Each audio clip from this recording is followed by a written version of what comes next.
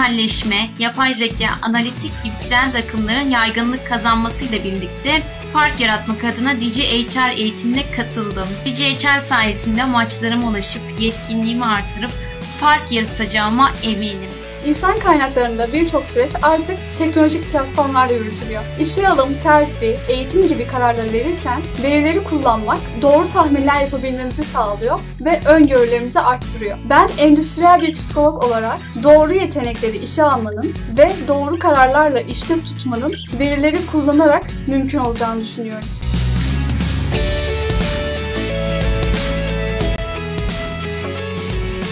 İnsan kaynaklarında verinin bu denli kullanıldığını bilmiyordum. Stratejik insan kaynakları dahil bu bilgilerin insan kaynaklarının bütün alanlarında kullanılacağına eminim.